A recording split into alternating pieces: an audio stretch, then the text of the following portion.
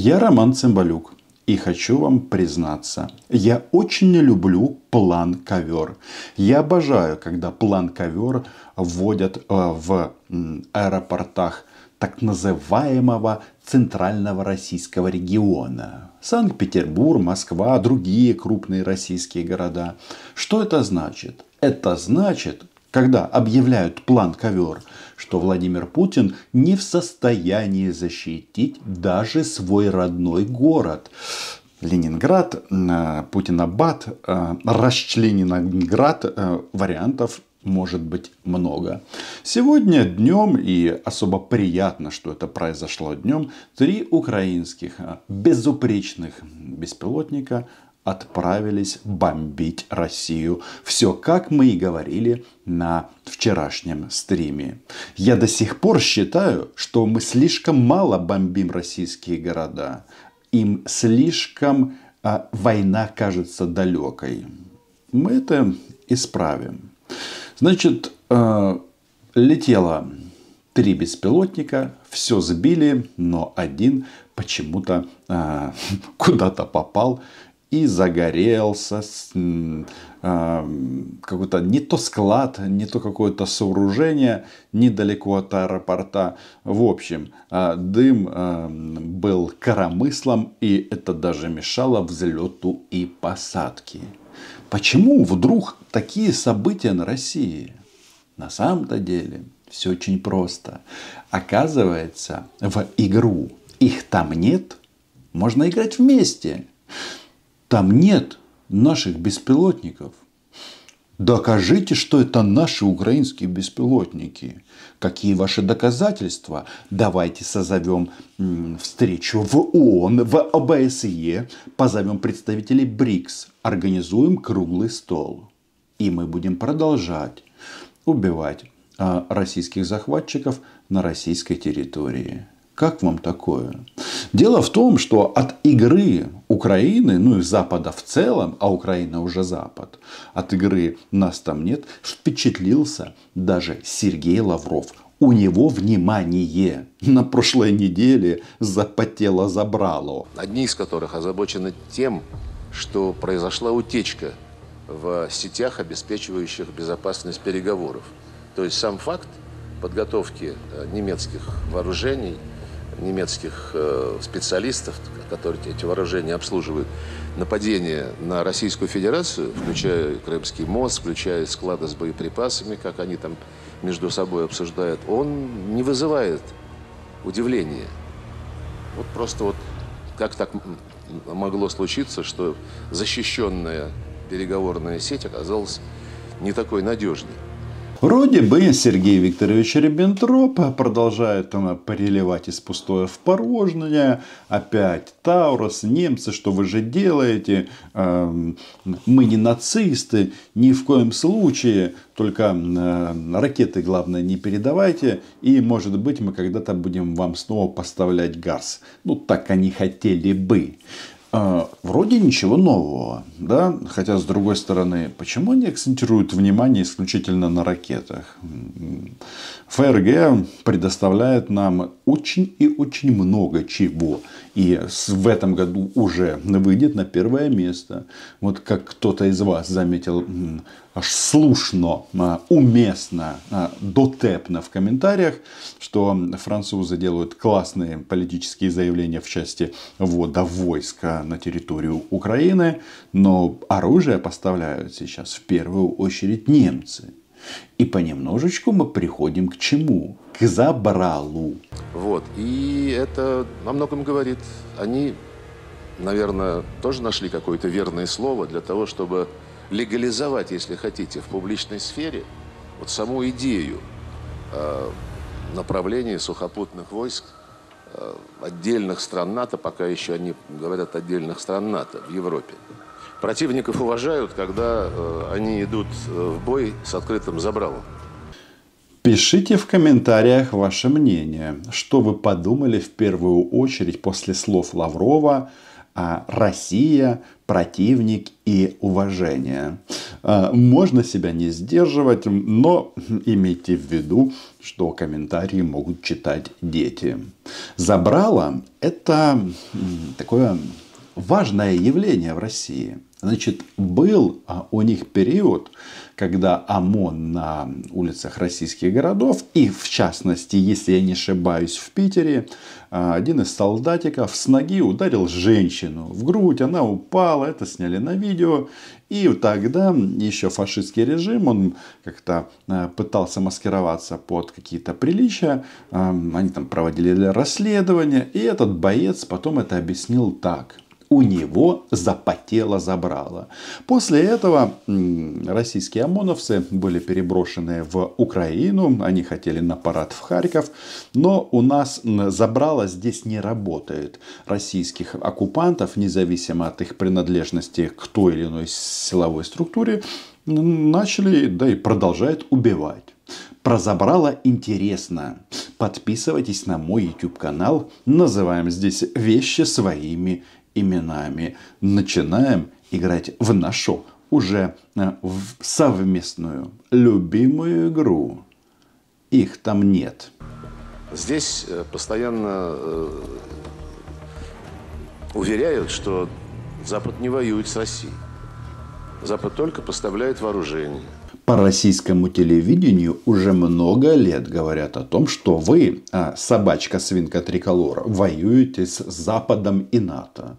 И тогда странно, почему нет э, солдат НАТО, и, соответственно, не должно быть техники НАТО. Вы хотели войны, вы ее получили.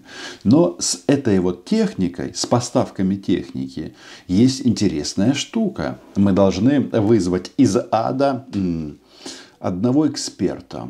Он в этом очень хорошо разбирается. Еще раз, техника, которая передана Украине, касается это, стасуется, да, касается это Байрактаров, Патриотов, Арчеров, а, МиГ-29, переданных нашими словацкими партнерами, F-16 и так далее. Это все не западная техника, это украинская техника. Не верите мне, этому авторитету россияне верят беззаветно. Как молоды мы были тогда. И, наконец, что касается вывода иностранных войск. Ну, там нет иностранных войск. Там есть местные, да, там есть, форми, э, там есть местная милиция, местные силы самообороны. Они состоят из местных жителей. Из местных. Значит, мне все время задают вопрос, откуда у них танки, тяжелая артиллерия? Послушайте, вот э, во многих э, горячих точках мира происходят э, различного рода конфликты боевые действия. Причем с применением танков, артиллерии и так далее. Откуда они берут? Видимо, от тех структур государств, которые им симпатизируют. Но это их техника, а не иностранная. Хочу вас, вот хочу обратить на это ваше внимание. Что касается наемников, ну да, я вот и сейчас в Париже сказал, там есть и, и французы, и немцы, которые воюют и на одной стороне, и на другой. С техникой разобрались, но на болотах сейчас происходит просто потрясающий виск. Они все дружно обсуждают тот факт, что а, западные военные уже находятся на территории Украины. Ну, по крайней мере, об этом сказал кто? Глава МИД Польши Радослав Сикорский. Он сказал о том, что, ну да, они уже в Украине, западные войска. Не знаю, где они, как они, как они выглядят, почему они еще не бомбят на российские колонны на марше. Что они тут делают, если э, их не видно. Но, как сказала сильно пьющая шмара, простите, что-то я оговариваюсь, оговариваюсь. Голос России Мария Захарова, она сказала так, комментируя заявление Сикорского о присутствии военных НАТО в Украине. Дальше скрывать они это уже не могли. Что? Неужели у нас тут нащупывается новая красная линия? Да? Потом выясняется, что там есть западные граждане. Они говорят, да, но они наемники, они уволились с воинской службы. А, сомнительно в подавляющем большинстве случаев. А потом стали говорить, что вот инструкторы какие-то там должны находиться, потому что слишком, тяжело, слишком серьезные э, технологии, которыми не освоишь, которые не освоишь быстро, а надо быстро, ну и так далее. Ну, вплоть до утечки о том, что немецкие генералы прямо признают, что вот нам надо так как-то сделать, чтобы они стреляли с нашей помощью, но чтобы про нас никто не узнал. И все равно там, говорит, есть французы, англичане и э, американцы. Это не открытое забрало, это жульничество. Запомните, это в некотором роде исторический момент. Карма, бумеранг. Теперь у Лаврова потеет забрало. На самом-то деле потеет у него не только забрало. В других местах тоже холодок. Это правильно. А начиналось все а, вот с, примерно с вот этих тезисов. И да, тогда мы были немножко моложе.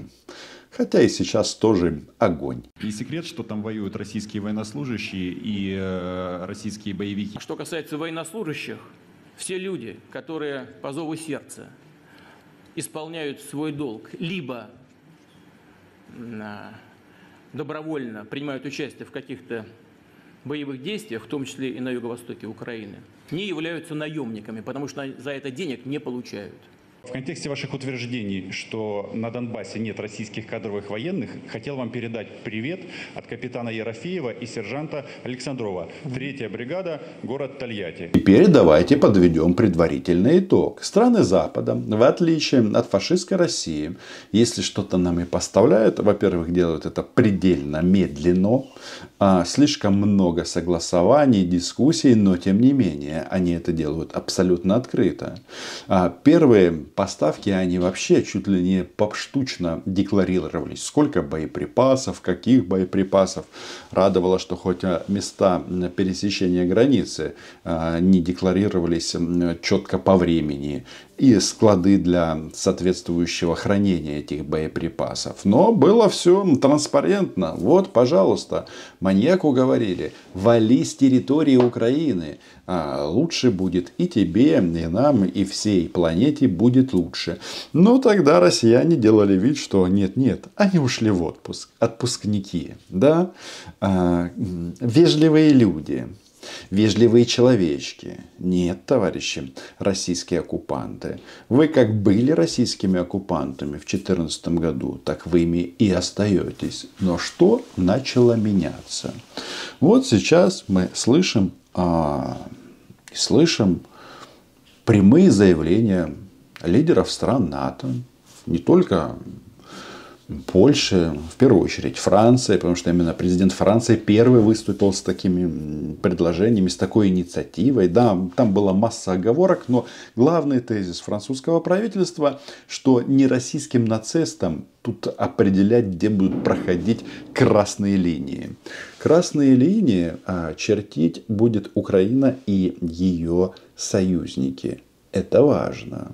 Тут недавно Маничело что-то по этому поводу сказал, и его очень странным образом по этому поводу э, решили вылезать на российском фашистском телевидении. Что из этого получилось? Опять запотело забрало. Когда некоторые эксперты постоянно чертили красные линии самопроизвольно, рассказывали, что вот если эту линию перейдут, то мы Посейдоном смоем Великобританию и наносили эти удары со своего дивана ежевечерне, это способствовало тому, что там креп консенсус, что да ничего русские не сделают. В этом отношении, на мой взгляд, идеальным было поведение нашего президента, который лишний раз, без необходимости, ни с какими угрозами не выступал. Да ты что, никогда никому Манничелло не угрожал. Э, расскажи это российским бабушкам и дедушкам. Если маньяк никому не угрожает, значит он не маньяк, но он же маньяк. Начиная полномасштабное вторжение, чем грозили Западу? Что если вы вмешаетесь, то что будет? Что будет? Вы столкнетесь с чем, что вы никогда еще не видели, с чем никогда не сталкивались. Да? И вот внимание, значит, Запад прямо говорит о присутствии западных военных на территории Украины. Я их не видел, хотя в некоторых гостиницах а, иногда бываю, где, судя по количеству звезд, должно быть э, как раз вот сборище э, солдат НАТО. Но нет. Но если он что-то говорит, то было понятно, что это твердая, ясная и четкая позиция. Вот он сейчас в своем послании сказал, прочертил настоящую красную линию. Он сказал, что две вещи – это прямое направление войск НАТО на Украину и предоставление дальнобойных ракет, которые могут наносить удары по территории России, означает переход войны НАТО против России из стадии де-факто в стадию де-юра. И Дальше что? Ваши действия. Сделайте что-то, что вы лупите по а, украинским городам. Если у вас есть яйца, то вперед или все-таки пол шестого. Значит, в подтверждение вот этих вот красных линий, собственно говоря, и сделаны были заявления на Западе, что да, мы там есть. И, ну и в части дальнобойных ракет и дальнобойных средств поражения. Что там в Питере? Эм, нормальная погода, а, тысяча один оттенок серого и запах дыма, да, запомните, россияне, план ковер на вашей территории будет введен а, без, бестерминовый, то есть постоянный. Называться это будет беспилотная зона. Нам обидно, когда именно дальнобойными бьют по России. А, А когда понимаете, другими, в чем то дело? это Есть- нормально? Нет, есть такой момент, когда а, предоставлено оружие, которое используется там, где они словесную эквилибристику используют, они говорят, это территория Украины, а мы не признаем, что это территория России. Это некая спорная зона, в которой мы предоставили оружие.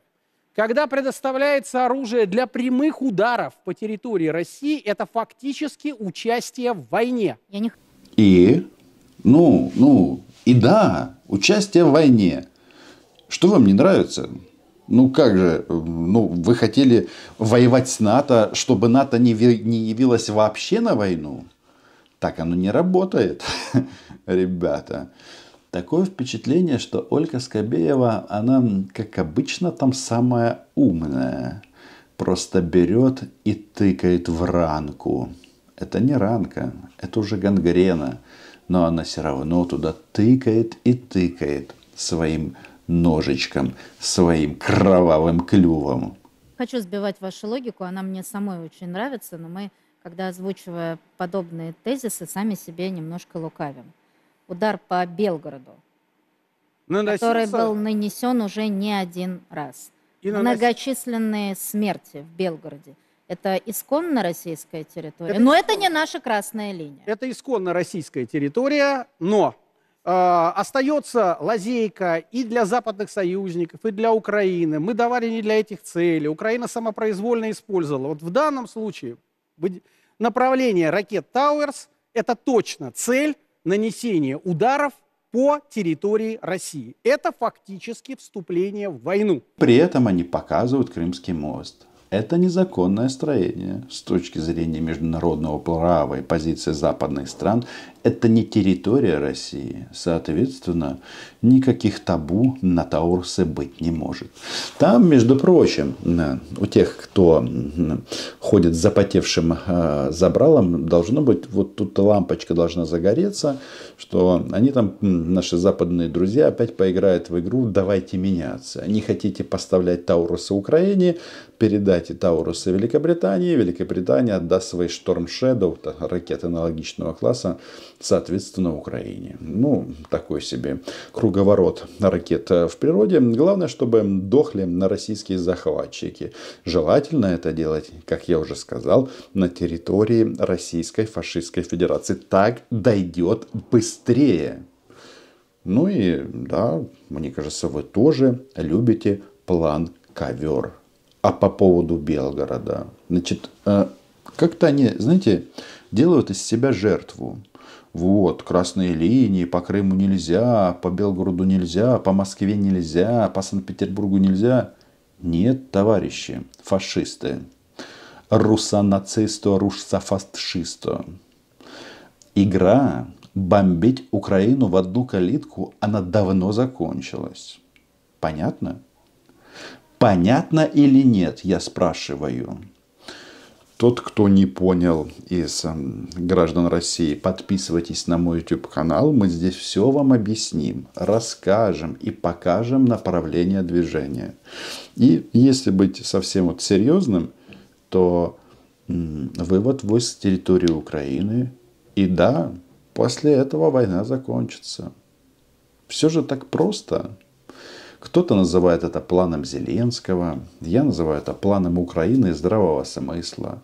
Но факт остается фактом. Вы залезли не в свой огород, а в этом огороде отрывают ножки и ручки ваших мальчиков в трусиках и без. Нам вообще все равно, честно. Пришел на территорию Украины с оружием в руках, получи фашист гранату. Сейчас это называется скид э, с БПЛА разного и Мавики, и Баба Яга, все это летит летит и будет лететь. Ну и план ковер должен быть вечным. Подписывайтесь, лайки, репосты, Patreon. Украина была, е и будет. Санкт-Петербург, не засыпай.